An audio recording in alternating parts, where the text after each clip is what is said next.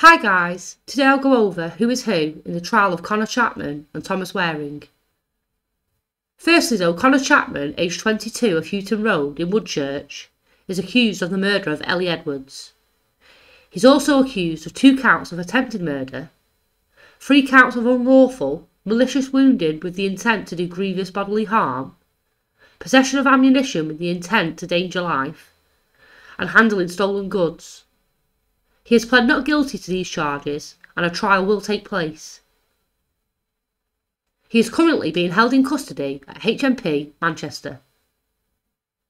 Thomas Waring, 20, from Barnston in the Wirral, is also accused of assisting an offender and possession of a prohibited weapon. He too also pled not guilty. He is currently being held in custody at HMP Altcourse. Both appeared via video link at Liverpool Crown Court on the 6th of April this year. This is when they both pled not guilty. Presiding over the case will be Justice Julian Goose.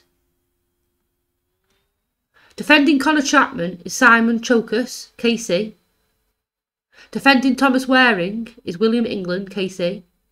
And for the prosecution, we have Nigel Power, KC. Both defendants will be tried together. The trial was set for the 7th of June, but is now been adjourned until June the 12th, which is tomorrow. I will provide as many updates as possible as the court case progresses. Thanks for watching. Thank you very much for watching. Please don't forget to like and subscribe.